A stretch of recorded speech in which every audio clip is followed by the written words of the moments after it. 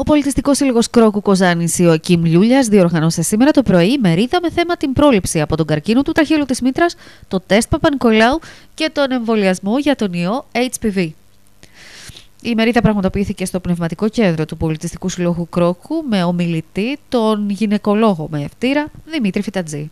Σίγουρα ε, χρειάζεται και το DNA HPV test, γιατί αυτά τα δύο θα μας δίνουν και άλλες πληροφορίες.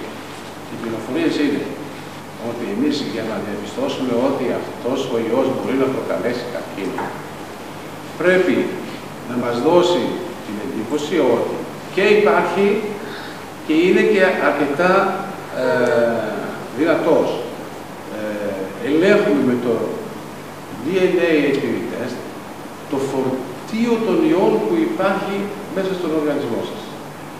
Άρα, όταν αυτό το φορτίο είναι από ένα αριθμό και πάνω, από τις 5.000 μονάδες και πάνω, τότε σε, σε, ε, σε συνάρτηση και με το PAP test, αυτό μας δίνει το ερέθισμα να προχωρήσουμε και σε περαιτέρω εξετάσεις όπως είναι η κορποσκόπηση. Η κορποσκόπηση και η βιοψία.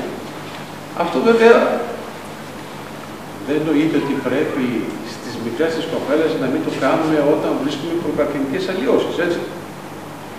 Άρα, αλλά δεν είναι τόσο σύνηθες στις μικρές, οι οποίες έχουν καλύτερο ανασωπητικό και αντιδρούν καλύτερα από ό,τι στις μεγαλύτερες.